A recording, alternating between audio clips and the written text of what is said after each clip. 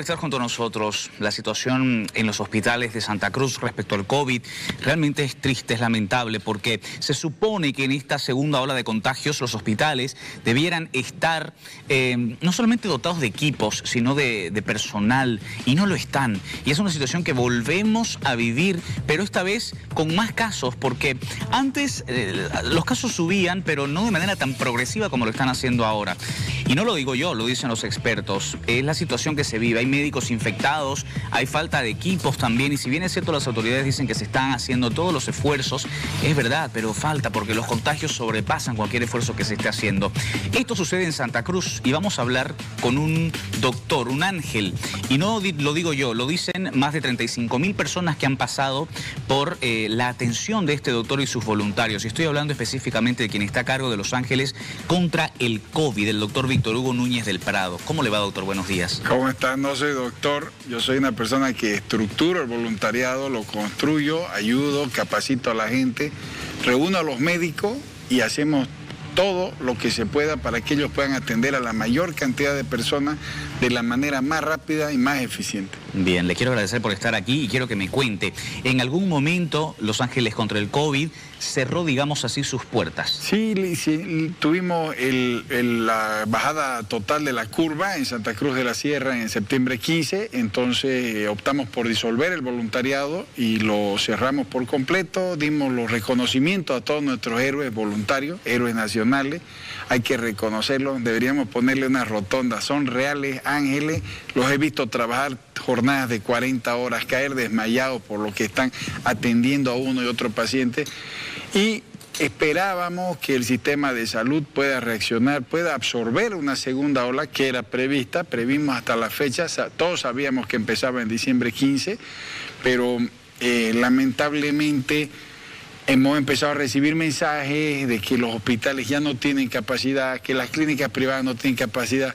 Tú miras el Facebook, miras las redes sociales, ¿dónde me puedo internar? ¿Dónde consigo una clínica? Claro. Vuelven a aparecer este tipo de mensajes. Nos obligamos a reestructurarnos nuevamente. Entonces lo volvimos a hacer, estamos nuevamente llamando a nuestros voluntarios, hemos abierto nuevamente el Centro Norte. ¿Dónde? En la Avenida Internacional que queda entre el Avancer y la G77, en la esquina del condominio La Fontana. Es el centro COVID voluntariado más grande del mundo. Tenemos capacidad para 200 camas. No recibimos internaciones. ¿Del mundo? Del mundo. Wow. No existe. Lo que pasa es que en el COVID eh, es un lugar donde, donde no es que te puedas quemar un brazo apagando algo o te pueda morder un perro. Te mueres y matas a tu familia. Entonces no hay voluntariados COVID en el mundo. Somos, fuimos los pioneros. Eh, ahora sí se están estructurando en algunos países, pero somos el más avanzado y el más grande del mundo. Víctor Hugo, ¿cuál es el protocolo a seguir de una persona que ahora esté contagiado con sospecha o con algún síntoma y se encuentra con esta situación de los hospitales con estos problemas. ¿Qué debe hacer respecto a Ángeles contra el COVID? Muy Desde el inicio. Muy importante, lo primero, analizar nuestro organismo, sentir nuestro cuerpo, saber de que nos está dando aviso. El COVID no es una enfermedad que de repente uno amanece malísimo, viene con preavisos de, hace, de más de una semana. Empieza con una inflamación, con dolor en las rodillas, dolor en la cadera, empieza con un día de aflojamiento estómago, empieza con un dolor de cabeza, un día de fiebre, empieza con un malestar general.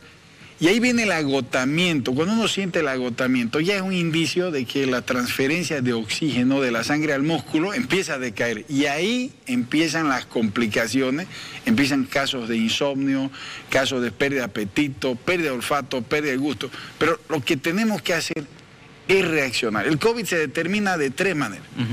Una es la imagenológica, que es cuando ya hay síntomas, estoy muy mal, no necesito, digamos, algo tan complicado, voy y me hago una radiografía de tórax y si el daño pulmonar es en ambos lados de los pulmones, si es simétrico, entonces es COVID. Si es en un solo lado, es una neumonía eh, ocasionada por bacterias. Entonces, una forma de detectar el COVID es imagenológico. Ya. La segunda es a través de análisis. Si siento síntomas, si estoy mal, me hago una prueba rápida, me hago un hisopado, un PCR. Y la tercera y la más confiable y la más recomendada es la clínica. ¿Cuál es la clínica? Veo tus síntomas.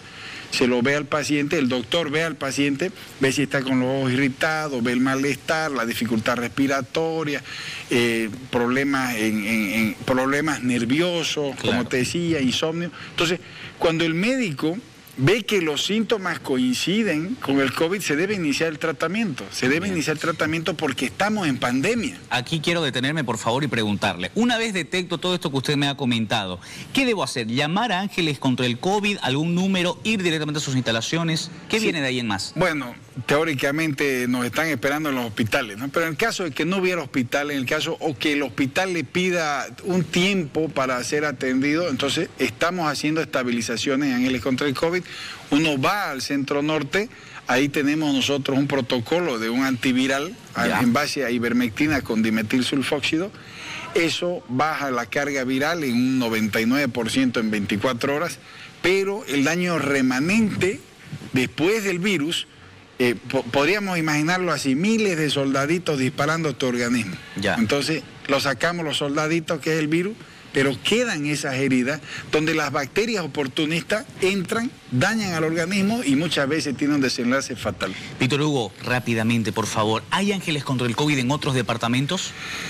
Tenemos, Aparte de Santa Cruz, digo. Tenemos los voluntarios tratando de reestructurarse actualmente y nosotros no vamos a poder salir a otros departamentos porque la curva ha sido muy alta en Santa Cruz. en, en la anterior sindemia cuando teníamos controlado Santa Cruz y teníamos nuestros voluntarios capacitados, empezamos a mandarlos a los departamentos para abrir. Pero hoy en casa tenemos muchos problemas. Bien, números de teléfono, por favor. Si usted tiene síntomas y quiere dirigirse a Ángeles contra el COVID, 709-66054 y 798-37138. Víctor Hugo Núñez del Prado, a usted y a todos sus voluntarios, muchas gracias una vez más. Gracias a ustedes y felicitar al cuerpo médico. Esta es una nueva batalla, nos tenemos que enfrentar de nuevo a un enemigo conocido Esperemos que todo el cuerpo médico de Santa Cruz y del país podamos salir victoriosos. Bien, hasta una próxima oportunidad.